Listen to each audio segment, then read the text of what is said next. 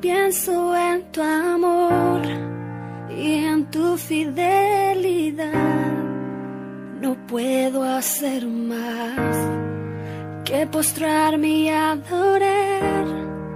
Cuando pienso en lo que he sido y hasta dónde me has traído, me asombro de ti.